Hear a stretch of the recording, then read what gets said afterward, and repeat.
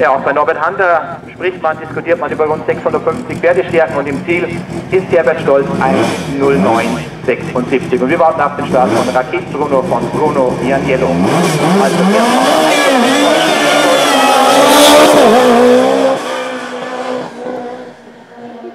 ja, für einen weiteren Gesamtsieg am morgigen Tag, das ist eindeutig Bruno Janiello.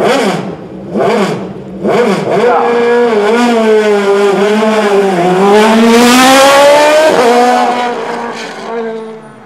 ebenfalls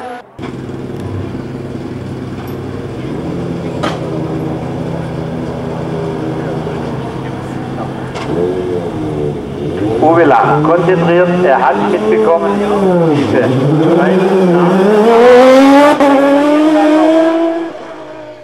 Innenkante geräubert.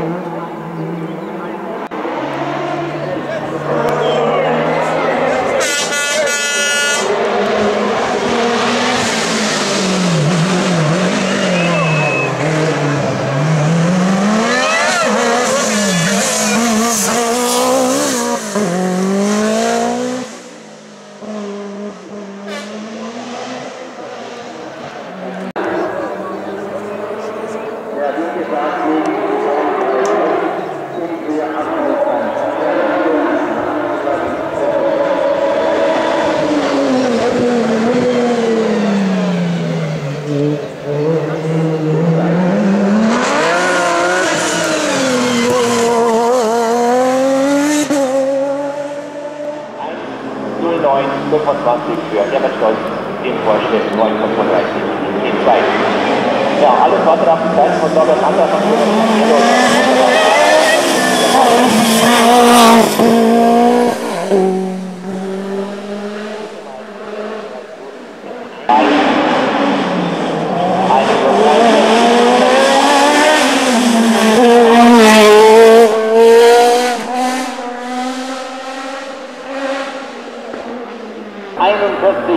Wärmtes Male 1,1535.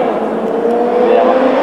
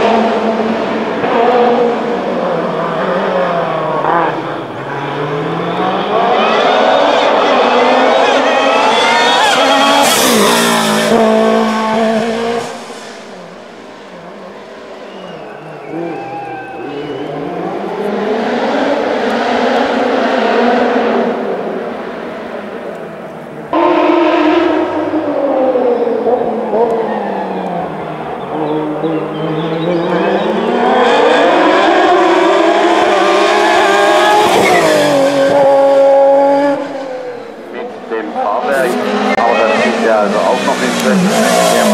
Ja.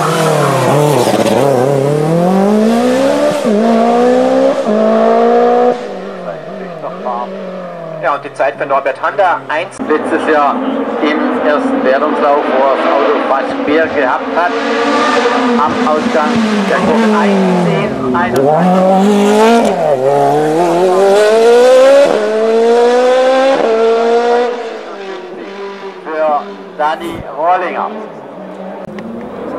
hat er ein bisschen Probleme. Robert Meyers, der ja umgestiegen ist in diesen Roll.